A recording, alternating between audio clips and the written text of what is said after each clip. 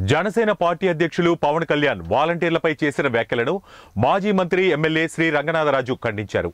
మహిళలు అదృశ్యానికి కారణం వాలంటీర్లే కారణమనడం సిగ్గుచేటన్నారు. వాలంటీర్ల ద్వారా వితంతువుల వివరాలు సేకరించలేదు.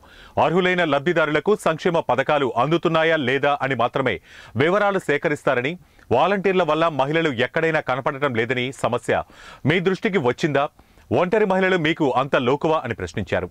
మహిళలను ఇతర రాష్ట్రాలకు సరఫరా చేస్తున్నారు అనడం దురదృష్టకరమని వైసీపీ ప్రభుత్వం వచ్చిన తరువాత ఇలాంటివి జరిగిన దాఖలాలు ఉన్నాయా?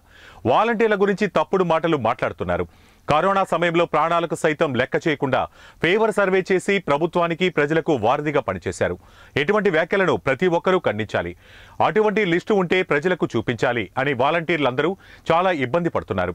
ప్రజలకు ఇంత సేవ చేస్తుంటే ప్రతిపక్షాలు ఎటువంటి దుష్ప్రచారం చేయటం బాధాకరమన్నారు. ఇరవై ఎనిమిది వేలు అక్కడ ఒక పేరని ఇవ్వండి. అలాంటి సంఘటన ఎక్కడ జరిగిందో? ఎక్కడన్నా సంఘటన జరిగిన మ్యాన్ మిస్ అయినప్పుడు మిస్డ్ కేసు పెడతారు. రకరకాల లో వాళ్ళు ప్రయత్నం చేస్తారు రాష్ట్రంలో ఎక్కడైనా ఒక మహిళ మిస్ అయిందని కంప్లైంట్ ఉందా? ఏ పోలీస్ స్టేషన్లో మీరు ఎక్కడికి వెళ్తున్నారు? మహిళలు అంటే అంత చులకనండి.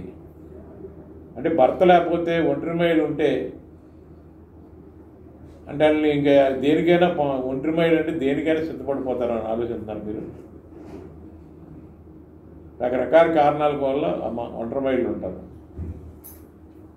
విధి వక్రీకరించి భర్తను కోల్పోయిన వాళ్ళు ఉంటారు చిన్న వయసులోనే. మా నియోజకవర్గం అలాంటి వాళ్ళు అందరూ చూసి అందరికీ కూడా ఉద్యోగాలు ఇవ్వడం జరుగుతుంది. మా ఆతంట నియోజకవర్గంలో ఎవరైతే అలాంటి ఒంటరి మహిళలు ఉన్నారో అలాగే చిన్న వయసులో భర్తలు కోల్పోయిన వాళ్ళందరికీ కూడా ప్రభుత్వ ఉద్యోగాలు ఇచ్చాం.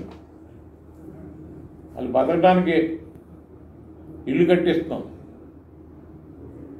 నేను గడప గడపకి తిరిగినప్పుడు ఎక్కడైనా ఐడెంటిఫై చేసి ఆ చిన్న వయసులో ఉన్న వాళ్ళందరికీ కూడా ఇల్లు కట్టించటం వాళ్ళకి ప్రభుత్వ ఉద్యోగం ఇవ్వటం ఎందుకంటే ప్రభుత్వ ఉద్యోగాలు వేస్తున్నాడు. వాలంటీర్ అంటే ఐదు వేల రూపాయల జీతం కాబట్టి బతకలేరు పిల్లలతో అని చెప్పి.